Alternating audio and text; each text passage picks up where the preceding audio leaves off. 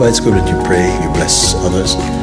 You bless also your power, you empower your spirit because you have a good intention, good vibration. You turn that vibration, like you turn the vibration of goodness towards everybody.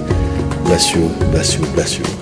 Then it raises up your power also because you bless, you're sending goodwill towards all beings. You don't want to keep it for. hmm? That makes you selfish. To keep one to take makes you selfish. To give makes you, you see, rich. Is rich, the one who keeps is poor. What is good to remember is inside.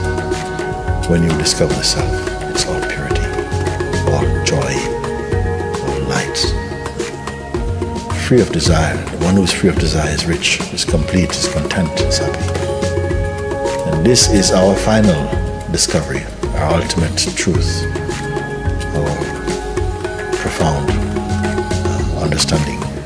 And it's, uh, this is the good news, I feel, to humankind and all beings, no?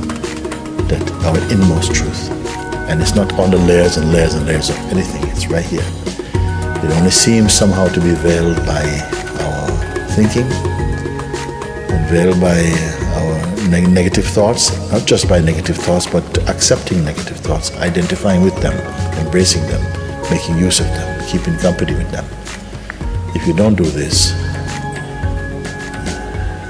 it's not it's not uh, difficult to feel the, the space, the peace, the joy, the, the light of the, the living God.